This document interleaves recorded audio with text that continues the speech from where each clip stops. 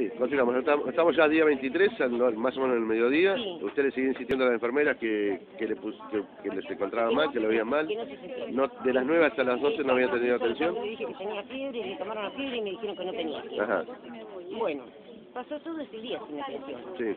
Bueno, yo voy a la tarde otra vez. Y otra vez lo encuentro con fiebre y sin atención. Llamamos a la enfermera, la enfermera dice que ya estaba atendido, que le iban a dar el alta. Que estaba bien. Sí.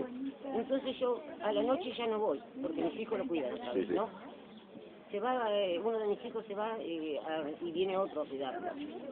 Empieza a once y media, tipo doce, a descomponerse. Llama a, la- a las enfermeras, que llamen al médico. Las enfermeras no llamaron al médico.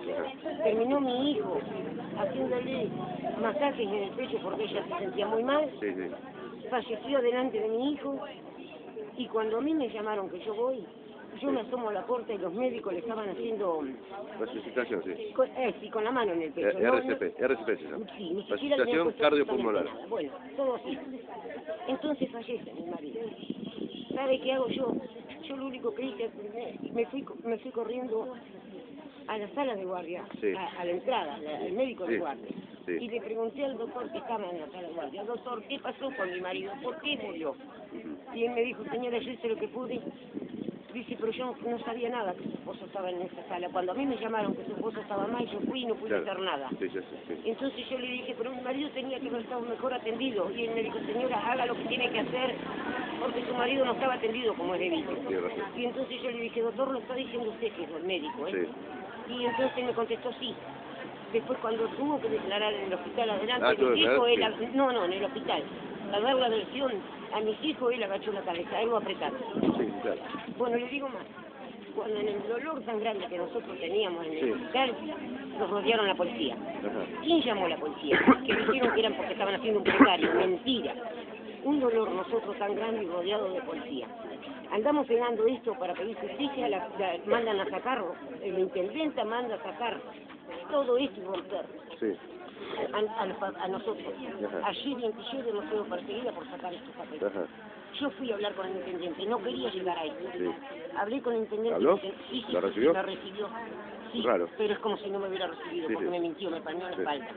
Me dijo, señora, usted haga lo que tiene que hacer por su lado, que yo voy a hacer lo que tengo que hacer por mi lado. Sí. Yo los otros días fui a ver si el doctor estaba trabajando y fui a sacar turno como para mí. Sí, sí. El doctor está trabajando todo. Dale, González. Todos, todos, Cala y todos, están trabajando. Sí, Él no hizo absolutamente, no me llamó. Le- el, el doctor sabe que dijo el, el- el- este doctor de salud que está en el hospital, que es el que manda también. Ah, el Federico Moreira. Bueno, dijo que mi marido había muerto muerte súbita. Ni lo saben. La doctora, la, la, la. Muerte súbita eh, son los Sí, los, menores, los chicos o los menores. Sé, mi hijo murió, muerte- yo tengo un hijo muerto, muerte súbita. ¿Cuántos, cuántos, ¿Cuántos hijos tiene usted? Yo ¿Siete? tengo, no, yo tengo nueve. Nueve. Escúcheme.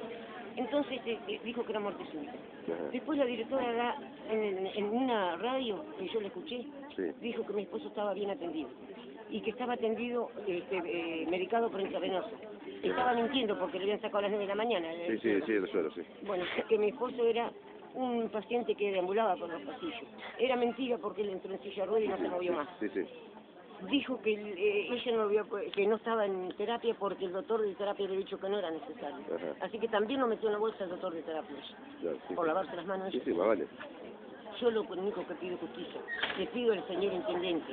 Es cierto que nosotros acompañamos a él. Sí, Eh, y yo fui y le pedí, yo no quería llegar a esto. sí, sí.